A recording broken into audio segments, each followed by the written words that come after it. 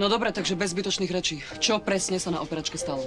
Zastavili sme krvácanie brušnej aorty, urobili splenektómiu. Vy Museli sme veľmi dobre viete, na čo sa pýtam. Všetko prebiehalo v rámci operačného protokolu. Lekári odviedli profesionálnu prácu. Aj napriek krátkej komplikácii je pacientka v dobrom stave, takže ja by som to ďalej nerozmazával. Ale áno, budete to rozmazávať. A to nie je prozba, ale príkaz. Takže sa vás naposledy pýtam, kde, v čom a ako nastala chyba. V komunikácii. Doktorka Alica Dobrovičová zvolila nesprávny slovník v kritickej chvíli smerom k Táni Dobrovičovej. Ona na chvíľu spanikárila, ale bolo to iba krátke zaváhanie. A aj moje. Ja... Ja som ťa nemal dať vôbec zavolať. Bolo to len chvíľkové zaváhanie kvôli stresu, prepáč mi. Vraj ste voči anesteziologičke zvolili v kritickej situácii neadekvátny slovník, je to pravda? Áno, pani primárka, ale v takejto stresovej situácii to bolo... Počúvajte ma. My sme sa už nejako dohodli, pokiaľ viem. Ak sa chcete pozabíjať, tak nech sa páči. Za bránami tejto nemocnice je to len a len vaša vec.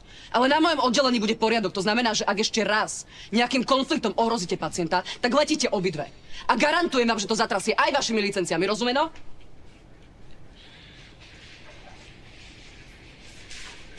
Spokojná? Slovo prepáč vo svojom slovníku nemáš?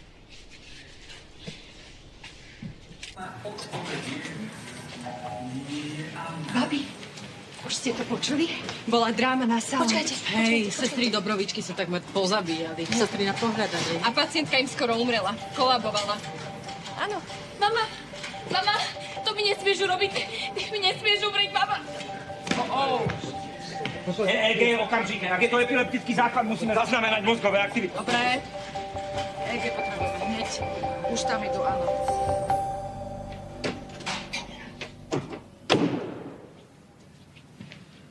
Takže ty chceš prepač. Buď taká dobrá a začni sa správať ako slušný človek. Mm, to je ako? Pouč ma. Prestaň klamať.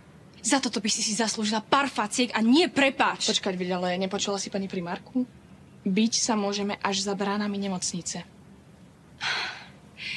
Ty vieš, čo sa dostalo za brány nemocnice a všetci to vedia? Čo? Že som sa tu zamestnala, aby sme si k sebe konečne našli cestu. A ty namiesto toho na mňa útočíš. Tánička, právý dôvod, prečo si odišla z Prahy a reči o tom, že ste sa nezhodli s primárkou kvôli rozpočtu, to si nechaj pre niekoho iného, dobre? Primárka ťa vyhodila preto, lebo si spávala s jej mužom. No, áno. A vieš, prečo som ti to nepovedala?